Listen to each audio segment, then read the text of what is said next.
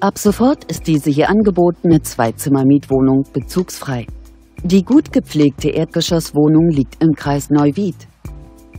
Das Objekt wurde 1974 erbaut und wird über eine Gaszentralheizung beheizt.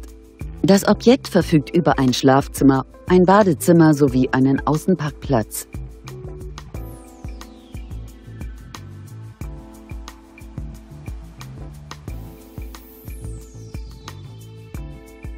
Die Erdgeschosswohnung umfasst eine Wohnfläche von ca. 65 Quadratmetern.